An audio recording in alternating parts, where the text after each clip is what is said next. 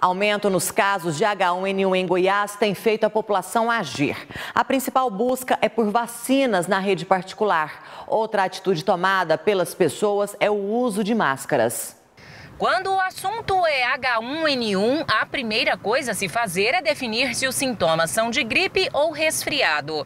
Resfriado é causado por outros vírus, não tem nada a ver com gripe e geralmente não dá febre alta ou quase dá febre baixinha ou não dá febre, espirra, coriza.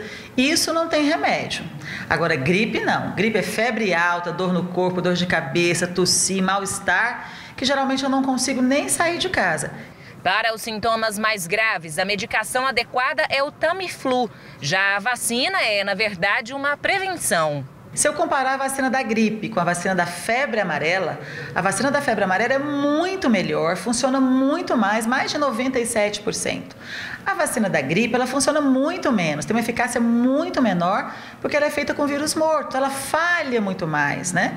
Então é importante dizer que não precisa essa correria toda para vacinar, pode vacinar com calma, a vacina demora duas a três semanas para funcionar. A campanha de vacinação aqui em Goiás vai começar no dia 16 de abril. A Secretaria Estadual de Saúde espera receber 100% das doses. Mas se isso não acontecer, os primeiros a serem vacinados são aqueles que se encaixam nos grupos de risco. Nessa clínica particular, as vacinas trivalente e quadrivalente estão esgotadas. Na sexta-feira a gente tem previsão de chegar um lote maior e aí as pessoas podem ficar tranquilo que vai ter condições de imunizar todo mundo. Até agora, 32 casos de H1N1 foram registrados em Goiás.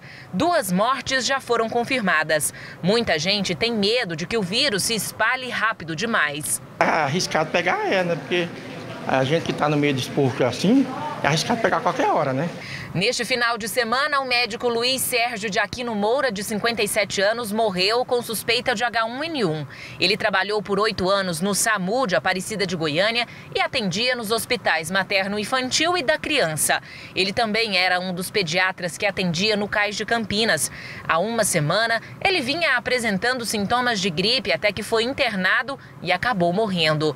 A morte do profissional preocupou pacientes e funcionários do centro de saúde.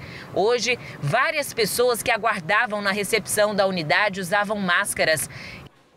Em nota, o Conselho Regional de Medicina do Estado de Goiás disse que vai intensificar a fiscalização nas principais unidades públicas de saúde de Goiânia. Eles vão verificar as condições de atendimento à população e de trabalho dos médicos.